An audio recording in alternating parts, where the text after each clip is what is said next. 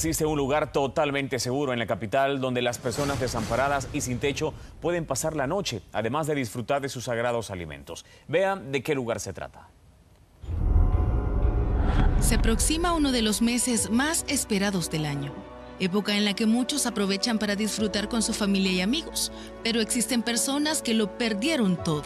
Sin embargo, la vida les dio una segunda oportunidad y en el albergue Divina Misericordia ubicado en el barrio San Esteban de San Salvador encontraron un hogar y una familia con quien compartir. Este lugar es para personas que, no tienen recursos, que no tienen trabajo para poder ayudarles a ellos. La hora de entrada es a las 5 de la tarde, pues que se abre aquí este, este albergue para las personas que vienen, pues que ya están aquí ya y personas que necesitan.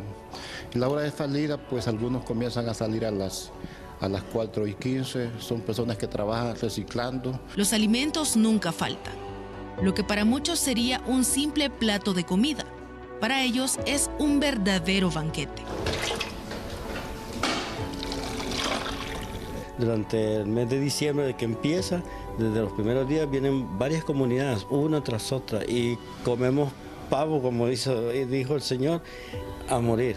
Eh, pavo, pollo, de todo, nos traen ropa, zapatos, todas clases de cosas que hasta la vez del año pasado no he abierto unas cosas nuevas que ahí las tengo y todo, nadie le toca su cama aún. Se siente bien y el ambiente es, bonito.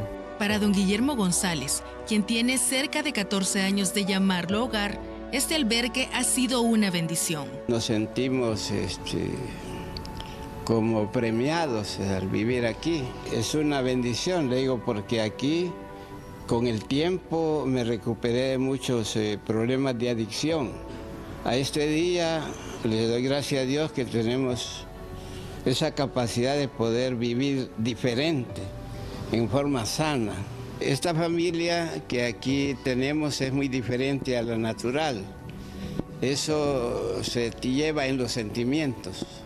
Y aunque para muchos la llegada del día significará deambular por las calles de la capital, saben que podrán encontrar consuelo por las noches, gracias a los nobles corazones que mantienen en funcionamiento este hogar.